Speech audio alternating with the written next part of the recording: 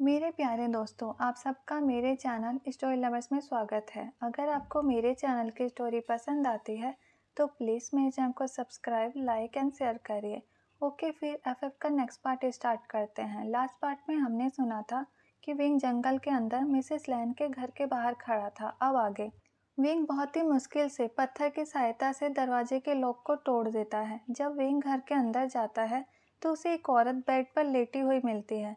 Wing उस औरत के पास जाता है और उन्हें उठाने की कोशिश करता है, लेकिन वो नहीं उठती क्योंकि वो बेहोश थी। विंग उनके नब्स को चेक करता है, जिससे विंग को पता चल जाता है कि वो ज़िंदा है। विंग सोचता है, उस आदमी ने इन्हें जंगल के घर में कैद करके क्यों रखा है और इन्हें होश क्यों नहीं आ रहा? उस आदमी ने इनके साथ क्या किया है? लगता है, इन्हें मेरी मदद की ज़रूरत है। विंग मिसेस लैन को अपनी बाहों में उठाता है और जंगल के बाहर लेके जाता है। विंग बहुत ज़्यादा थक गया था और मिसेस लैन को लेकर मेन रोड पर पहुँच जाता है। लेकिन अब उसकी बिल्कुल भी हिम्मत नहीं थी और चलने की। विंग मिसेस लैन को रोड के किनारे रख देता है और खुद भी उनके बगल में बैठ जाता है और इंतज़ार करने लगता है ताकि कुछ मदद मिल जाए। काफ़ी समय हो जाता है, लेकिन कोई भी कार उस रास्ते से नहीं गुजर रही थी। विंग सोचता है, अब मैं क्या करूँ? यहाँ से तो कोई भी सवारी नहीं गुजर रही। मैं इन्हें कहाँ लेके जाऊँ? मैं इनकी मदद कैसे करूँ? कुछ समय बाद विंग को कार की लाइट दिखाई देती है। वो खुश हो जाता है कि अब उसे मदद मिल जाएगी। वो अपनी सीट पर से खड़ा हो जाता है और हाथ दे के कार को रोकने की कोशिश करता है। कार के अंदर वैनिंग और नी हुसैन थे। अंधेरा होने के कारण उन्हें विंग का चेहरा नज़र नहीं आ रहा था, लेकिन उन्हें पता चल रहा था कि कोई उनसे लिफ्ट मांगने की कोशिश कर रहा है। वैनिंग कहता है नी हुसैन कोई लिफ्ट मांगने की कोशिश कर रहा है। क्या तुम कार रोकोगे? नी हुसैन कहता है, इतनी रात को कौन लिफ्ट मांग रहा है? हमें रोकना चाहिए, क्या पता उसे मदद की ज़रूरत हो? वैनिंग कहता है, अगर वो चोर हुआ तो उसके पास चाकू हुआ तो उसने हमें नुकसान पहुँचाने की कोशिश की तो? नी हुसैन कहता है, तुम फ़िक्र मत करो, मैं हूँ ना तुम्हारे साथ, हमें कुछ नहीं होगा।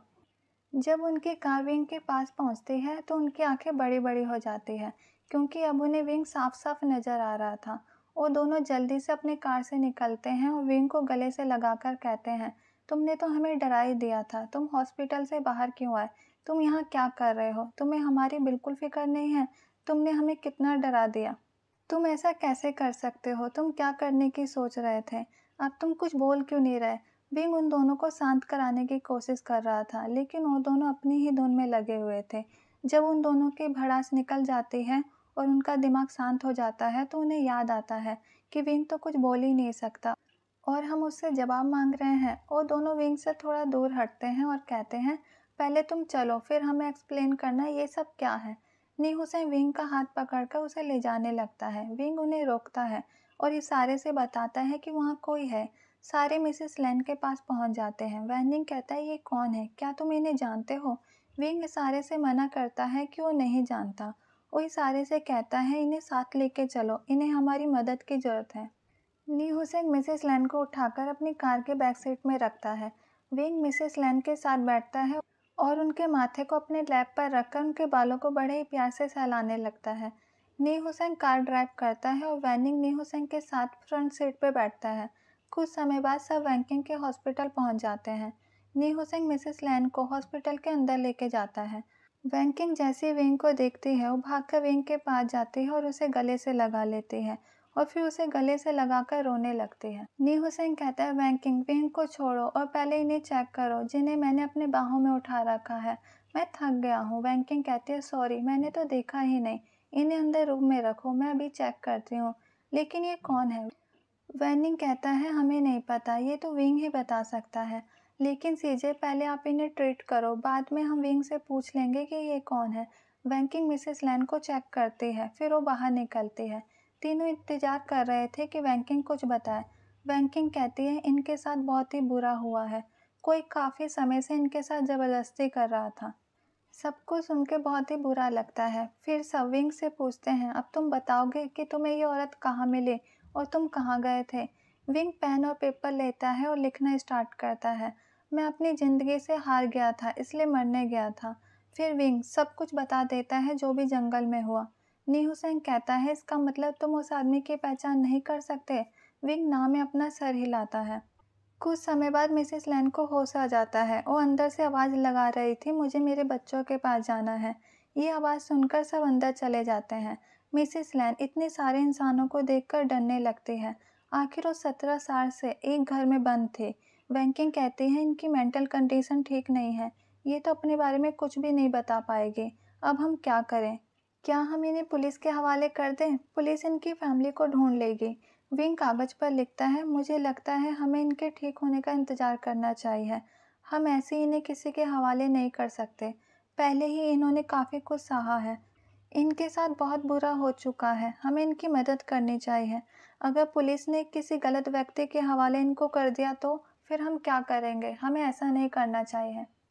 ये तो किसी को पहचान भी नहीं पा रही है। जिस व्यक्ति ने इन्हें कैद कर रखा था, वो बहुत अमीर लग रहा था। उस व्यक्ति ने इन्हें दोबारा ढूंढ लिया तो हम ये गलती नहीं कर सकते।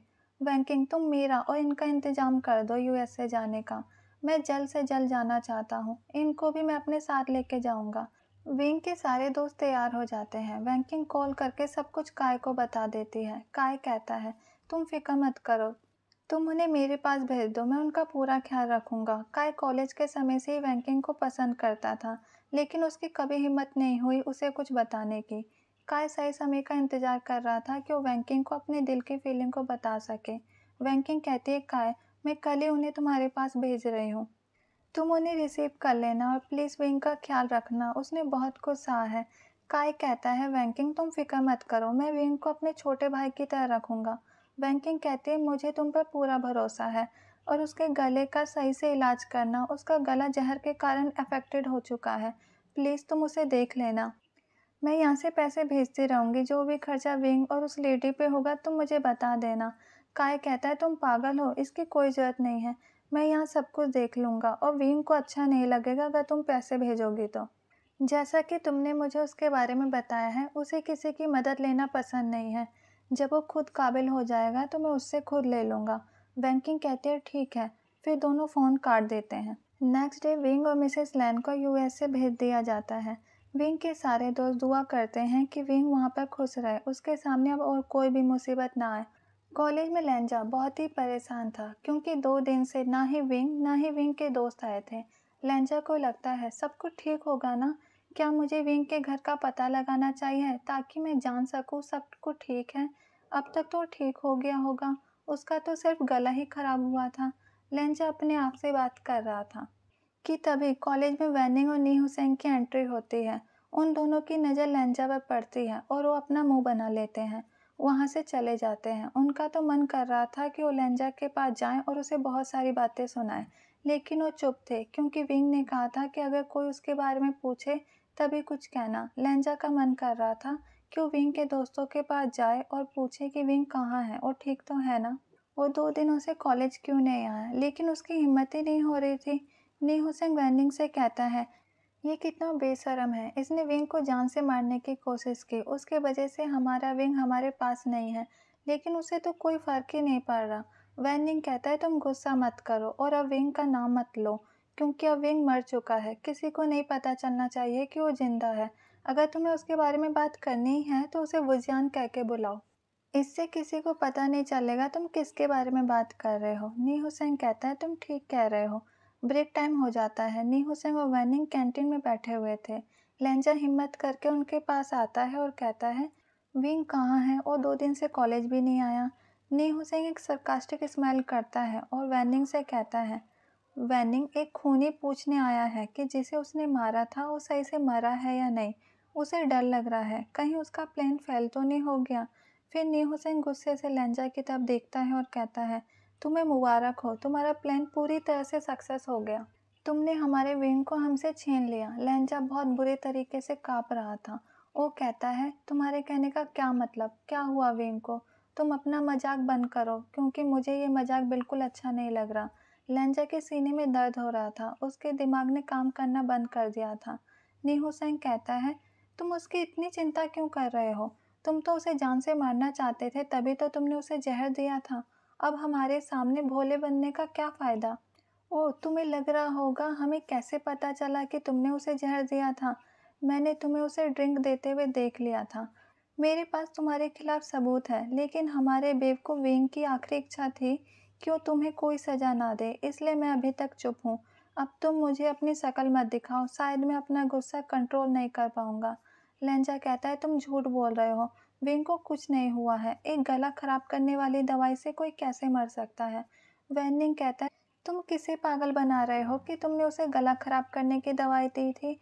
तुमने उसे पावरफुल जहर दिया था। तुम मुझे अपना फ़ोन नंबर दो। तुम्हें खुद पता चल जाएगा कि तुमने उसे क्या दिया था। लेंजा उसे अपना कार्ड देता है। कुछ समय बाद लेंजा के फ़ोन पर दो रिपोर्ट सेंड होती है। एक विंग का डेथ सर्टिफिकेट था, दूसरा ड्रिंक की बोतल में जो जहर की रिपोर्ट थी वो थी। लेंजा अपनी जगह पर एक स्टैचू की तरह खड़ा था। वेनिंग नी हुसैन को लेकर वहाँ से चला जाता है, क्योंकि उसे पता था नी हुसैन को बहुत गुस्सा आ रहा था। लेंजा कहता है, ये मैंने क्या किया? मुझसे कितनी बड़ी गलती हो गई। मैंने अपने प्यार को अपने हाथों से मार डाला। अब मैं क्या करूँ? मैं ऐसा कुछ नहीं करना चाहता था। ये मुझसे क्या हो गया? उस दिन विंग कितना खुश था मुझसे बात करके, और मैंने उसे धोखा दिया। ये सारी गलती मिंग्याओ की है, मैं उसे नहीं छोड़ूँगा। ये उसने मुझसे क्या करा दिया? लेंजा गुस्से से अपने क्लास की तरफ़ जाता है। मिंग्याओ अपनी सीट पर बैठा था। वो जब लेंजा को देखता है, वो बहुत खुश होकर लेंजा के पास जाता है और कहता है, बेबी, तुम कहाँ थे? लेंजा कुछ नहीं बोलता। वो सीधा मिंग्याओ को खींच के एक चाटा मारता है। पूरी क्लास ये देखकर हैरान थी कि लेंजा ने मिंग्याओ को क्यों मारा। लेंजा कहता है, तुमने ऐसा क्यों किया? मिंग्याओ कहता है, बेबी, ये तुम क्या कह रहे हो? मुझे कुछ समझ में नहीं आ रहा। तुमने मुझे क्यों मारा? लेंजा गुस्से से मिंग्याओ के बाल को पकड़ लेता है और कहता है, तुमने विंग को जहर क्यों दिया? और तुमने अपने गुनाह में मुझे भी शामिल करवा दिया? तुम्हें क्या लगा था? तुम गुनाह करके बच जाओगे? मिंग्याओ कहता है, बेबी, तुम्हें कुछ गलत फहमी हो गई है। किसने कहा कि मैंने उसे जहर दिया? मिंग्याओ ने सोचा था कि किसी को कुछ पता नहीं चलेगा। क्योंकि उसका तो कोई परिवार भी नहीं है जो उसके बारे में पूछताछ करेगा। लेकिन उसे नहीं पता था लेंजा इतनी जल्दी पता लगा लेगा। लेंजा मिंग्याओ को बालों से खींचकर कॉलेज के बाहर ले जाने लगता है। पूरा कॉलेज ये ड्रामा देख रहा था। धीरे धीरे ये बात आग की तरह पूरे कॉलेज में फैल गई कि विंग मर गया और मिंग्याओ ने उसे जहर दिया था। जिन लोगों के मन में कल तक विंग के प्रति जहर था, आज जो लोग आपस में बात कर रहे थे, बेचारे के साथ ऐसा नहीं होना चाहिए था। मैंने तो कभी भी उसे किसी से लड़ते हुए भी नहीं देखा। ये मिंग्या उसे हमेशा परेशान करता था। लेकिन इसने तो इस बार हद कर दी। इसने उसे जहर दे दिया। हम एक खूनी के साथ पढ़ रहे थे। एक स्टूडेंट कहता है, मुझे तो लगता है विंग के करेक्टर लेस वाली बात भी गलत है। बेचारे को बचपन से प्यार नहीं मिला। और ये मिंग्याओ किसी को कैसे जहर दे सकता है? दूसरा स्टूडेंट कहता है, तुमने सिंगिंग कंपटीशन में नहीं देखा? उसके दोस्त उसे हॉस्पिटल कैसे लेके जा रहे थे? उस समय तक मिंग्याओ विंग को जहर दे चुका था। सब मिंग्याओ की बुराई कर रहे थे। नी हुसैन और बैनिंग आपस में बात करते हैं। कल तक जो स्टूडेंट विंग की बुराई करते थे, आज उसके मरने की खबर सुनकर खुद कितने शरीफ बन गए, जैसे इन लोगों ने उसे बुली नहीं किया था। वैनिंग कहता है, लेकिन मैं ये क्या सुन रहा हूँ कि लेंजा को मिंग्याओ ने और ड्रिंक दिया था विंग को देने के लिए और लेंजा को नहीं पता था कि उसमें जहर है? नी हुसैन कहता है, मुझे नहीं पता, उसे कितना पता था या नहीं। लेकिन मैं उसे माफ़ नहीं करूँगा। वेनिंग कहता है, लेकिन लेंजा उस मिंग्याओ को कहाँ लेके जा रहा था? नी हुसैन कहता है, मुझे कैसे पता चलेगा? दोनों लव बर्ड्स बन के घूमते थे ना? अब देखो वो कैसे लेके गया है उसे। मुझे तो उस मिंग्याओ से नफरत है। उससे पॉजिटिव वाइब नहीं आती। अब देखो आगे आगे क्या होता है। लेंजा मिंग्याओ को पुलिस स्टेशन लेके आता है और उसे पुलिस स्टेशन के अंदर धक्का दे देता है। पुलिस लेंजा को जानते थे। वो अपनी सीट से उठ जाते हैं। और कहते हैं, सर, आप यहाँ क्यों आए हैं? लेंजा कहता है, मैं एक खूनी हूँ, मुझे गिरफ़्तार करिए और इसे भी करिए जिसने मुझसे खून करवाया है। पुलिस कॉल करके लेंसेचन को बुला लेते हैं। लेंसेचन जब पुलिस स्टेशन पहुँचते हैं तो लेंजा उनके गले लगकर रोने लगता है और कहता है, ब्रदर, इस मिंग्याओं ने मुझे खूनी बना दिया। मिंग्याओ अपनी नज़रें नीचे करके खड़ा था। चंद कहते हैं, क्या तुम सबको सही सही बताओगे? आखिर क्या हुआ है? और क्या किया है मिंग्याओं ने? लेंजा चंद को सब कुछ बता देते हैं। चंद कहते हैं लेंजा तुमने ये क्या किया? मैंने कहा था कि डैड पर और ना ही मिंग्याओं पर किसी पर भरोसा मत करना। चंद पुलिस से कहते हैं, सर, अब हम क्या करें? पुलिस कहते हैं, सर, आपको फ़िक्र करने की कोई ज़रूरत नहीं है, क्योंकि लहंजा सर को कुछ नहीं होगा। उन्हें नहीं पता था कि ड्रिंक में जहर है, इसलिए हम सबको संभाल लेंगे। पुलिस मिंग्याओ को जेल में डाल देते हैं और लहंजा से वो सारी रिपोर्ट ले लेते हैं। लहंजा कहता है, लेकिन मैं सज़ा भुगतना चाहता हूँ। मैंने पाप किया है। लैंसीचन लहंजा को ज़बरदस्ती पुलिस स्टेशन से लेके चले जाते हैं। पुलिस कॉलेज से कंपटीशन के दिन की सारी फुटेज निकलवा लेते हैं, जिससे साफ़ पता चलता है कि मिंग्याओ ने लेंजा को ड्रिंक दिया था और फिर लेंजा ने विंग को ड्रिंक दिया था। मिंग्याओ के पेरेंट्स उसे जेल से निकलवाने के लिए आते हैं, लेकिन सारे सबूत मिंग्याओ के खिलाफ थे, इसलिए उसे बेल नहीं मिलती। मिंग्याओ के पेरेंट्स कहते हैं, ये तुमने क्या कर दिया? हमने तुम्हें कुछ ज़्यादा ही सर पर चढ़ा दिया था, जिसके वजह से आज हमें ये दिन देखना पड़ रहा है। हमारी कितनी बदनामी हो रही है। मिंग्याओ कुछ नहीं बोलता वो सिर्फ़ चुपचाप सुनी जा रहा था। उसके पेरेंट्स वहाँ से चले जाते हैं। मिंग्याओ कहता है, विंग, तुमने मरने के बाद भी मेरी ज़िंदगी बर्बाद कर दी। इधर मिस्टर लैन जब जंगल में गए थे तो मिसेस लैन वहाँ नहीं थी। वो बहुत ज़्यादा बेचैन हो गए थे।